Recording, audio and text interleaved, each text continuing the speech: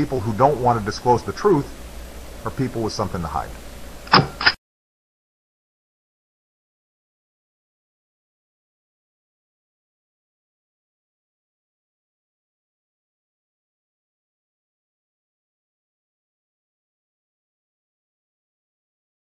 one little group and say there's like two dozen people like the Washington Post said yesterday. Most of the crowds you only see once and then they have to leave. There's been thousands here. Hey brother. Oh no no no no. They're gonna pull over and give you a ticket right there, man. God bless you. We'll see you over there. Be safe. All right, you're awesome. Thank you. So what's happening is this is a big success. Hundreds of newspapers around the world, dozens and dozens in the U.S. are covering it. I wanted to get to one more point. Hold on, guys. We're doing a live feed watch out going across the street, okay? Okay, now, now, just to be clear here, if we'll run across the street now and see if somebody gets hit. We're going to add this little piece before we go show you the big crowds here at the live streams we have at Infowars.com about Glenn Beck's The Blaze. Glenn Beck's exposed Bilderberg Group, talks about Soros, we appreciate that. but he sees us as a competitor. So he said mean things that, you know, me and Charlie Sheen get in the shower together, stuff you could sue him for, but he did it under satire so I left it alone. It's clearly satire. Well, I did satire yesterday, talking about, very dark satire, about all the roasted babies that are getting shipped into Europe and the U.S., the 30,000 pills, you know, that was in the news a few weeks ago of, of brown babies. It's in a lot of the big cosmetic uh, maker systems. They took a snip out of it where a guy's driving through, and I go, no, he's probably just picking somebody up. Or, you know, he might have a a kid in the back, or you know, they might be bringing them some roasted babies. And then the cops were laughing, and I said, no, I'll bet you 10,000 people really are trying to ship roasted babies to very rich clientele. And that's my point. Elites throughout history do weird, bizarre stuff. A lot of these elites, Paul Watson's doing an article that we're going to post this video at once it's archived. We're live streaming now that goes over this. The wars are killing massive numbers of innocent children. The carbon taxes, Lord Monckton's estimates are will kill about a billion people under the Copenhagen uh, Agreement if it ever got fully implemented. We've got all these news articles that Paul's going to post where royalty, elites, judges have been caught connected to child kidnapping and child sacrifice. That's mainstream news. Uh, the elites getting political dissidents organs. The truth is humanity is being fed on. This stuff is real. And just like uh, what Jonathan Swift in 1720 something wrote the uh, famous piece about, hey, the Irish shouldn't complain about being poor and all the taxes. Why don't you just eat your children and do us a favor? That's kind of where I was going with this. But these are the type of people. In fact, the Rockefellers and others have been connected to really weird stuff. Francois Mitterrand was into the occult. Tony Blair. That's all the mainstream news. Uh, Rothschild castles have had a lot of weird stuff going on at them. So I know that if you profile these type of people, if you profile this type of elite, that is, yeah, that is that is the exact type of group that is into this stuff.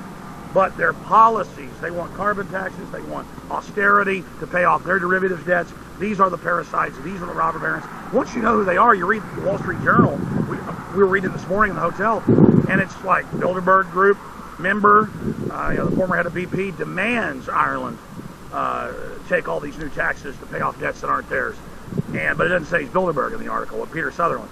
Uh, or you read all these other stories about SpaceX Dragon. Well, that's all taxpayer funded. They're just handing our space program to them. It's not free market. They're just having it given to them. These really are the top of the pyramid, and they've gotten rich and powerful through cronyism, through monopoly activities. So I want to salute everybody that got out here. There are big numbers of people here. We're going to be doing a Ustream once we get down there in about five minutes, but we're a quarter mile from the hotel or more, and there's just people walking up down the street. You probably can't see them just on the little Ustream. but there's about a hundred people right over there. Death to the New World Order! Yeah! Yeah! Again, folks, very, very exciting. It's all at Infowars.com, but I'm glad that some of the kind of establishment libertarian type sites are attacking us. I mean, the Blaze really isn't attacking us. Daily Caller is. And I thought they were a Democratic comedy team when they said, hey, I heard Chuck Norris is here, and hey, you're making money, all this stuff. I really thought, hey, is this Democratic comedy team? And people said, wow, that was smart. They knew it was Daily Caller before they announced themselves, and their new and their new nickname is Democratic Comedy Team. With Tucker Carlson, I didn't know that, but now that name is spreading. They're known as Democratic Comedy Team. And I was talking to high level conservative bloggers, about as high as it gets in the country, and they believe that Tucker Carlson is like a Democratic operative uh, shill, but that, that's a side issue. Here's my report on that subject. We'll be down there in the crowds. We're going to be talking to them. Uh, we're going to be talking to the people and why they're here. I salute everybody. Look, more folks coming constantly. Do what? I won't try to cross the street today. Oh yeah, you got arrested. Yes, I did. Yeah, yeah, yeah. This guy barely just walked on the side of the curb. Exactly. By the way, I talked to bus drivers in the bus company. Those bus lanes, you're allowed to park and drop people off, but they're writing out-of-staters tickets, thinking you don't know the law. Hundreds of them. I mean, this is incredible. Red carpet for the tyrants. Ridiculous. Red carpet for the tyrants. A fake book of tyranny against the citizens. Tell folks what happened to you. Yeah, so um, I mean, as you saw, um, they they told me that I was under arrest for doing that. They said I've been told five times. I hadn't even been at the protest all day, and uh, I walked onto the. You know, just Come closer. Yeah, I barely stepped off the sidewalk for a minute, and uh, you know, as you could see in the video, and I wasn't trying to test my limits or anything. I was just trying to go around the protesters that were on the sidewalk, and get get back on the sidewalk as soon as I could. And um, as I was doing that, uh, officer came up and uh, grabbed me. They're already in, uh, blocking the entire lane of traffic off.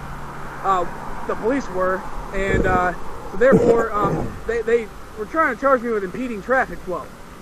And the only traffic. Bottom line, they slammed you around quite a bit. What did they do to you once you got to jail? Well, in jail, uh, they uh, pretty much are just using like trying to get me to just.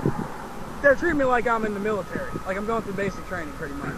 Like you know, like telling me telling me I had no rights, that it's their house and all that, and uh, and I heard they strip search you a bunch. oh yeah, they just searched me like three or four times. Three or four times they searched me. So a little TSA of Obama Grove down. What else happened?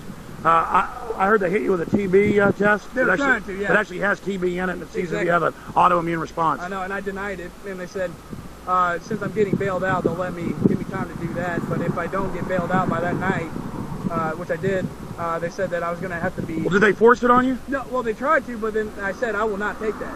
I refuse that, and uh, they said, well, we'll put you in this back room, just in isolation. You got to just sit there by yourself. You get punished for not taking it. But I don't see how that's. All right, brother. We'll see you over there. Folks, good job being here. Again, more people walking up all the time. I'm told there's well over 500. Hey, God bless you. You know, the Washington Post said there were two dozen people here. We had 500 at one time yesterday. I, I, I really haven't seen most people the second day. Folks are coming through one day. So this is over 1,500 people that have been here the last three days. And I'm told there's over 500 right now. So let's just keep streaming. Uh, well, you know, let's cut this off so we can upload this as well, not just have it stream. And then we're going to restart restreaming again. Uh, Rob, is your stream working? Oh yeah, y'all don't forget. They're still watching y'all. Good night.